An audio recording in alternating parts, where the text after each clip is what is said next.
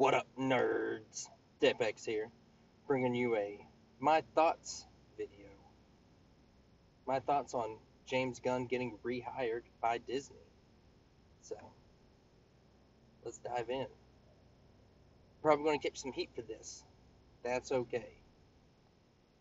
Heat means views. Alright.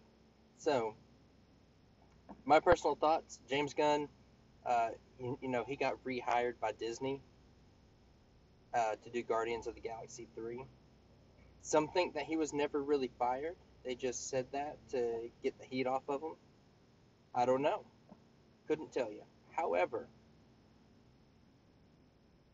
when Disney had originally hired him, if they wanted to fire him over something he had said, they should have gone back and checked his history for his social media. My personal thought about it. So the whole fact of people getting outraged, just like they did with Roseanne, and you know the left um, made a big hoopla about Roseanne and all of her stuff, right?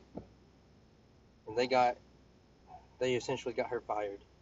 Uh, then the right responded with digging up stuff on James Gunn. That was kind of their their counterpunch, one might say, their retaliation. Should have never happened.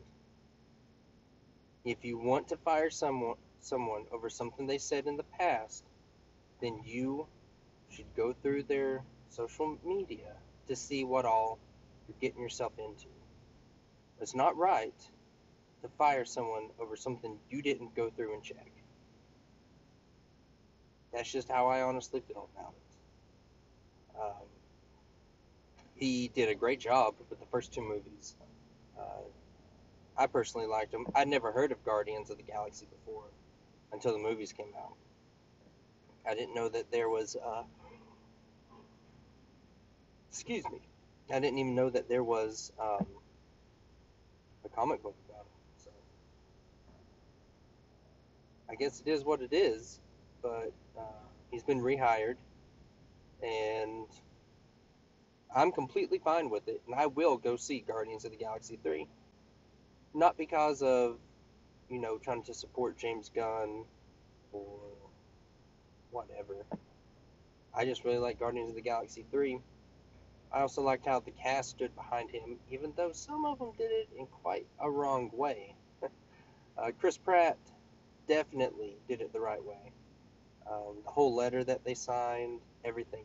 And these tweets that they, they were digging up are from years ago. Years ago. So, you know, people change. Uh, there's nothing about him that says he's been accused or even or he's he's not been convicted or even accused of anything. It's just uh, a really dark sense of humor at this point. We don't know, you know, anything else. So, uh, really, since they reinstated uh, James Gunn, they should reinstate Roseanne as well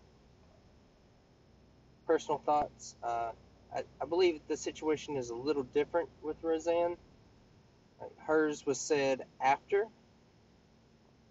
So that's kind of like, eh,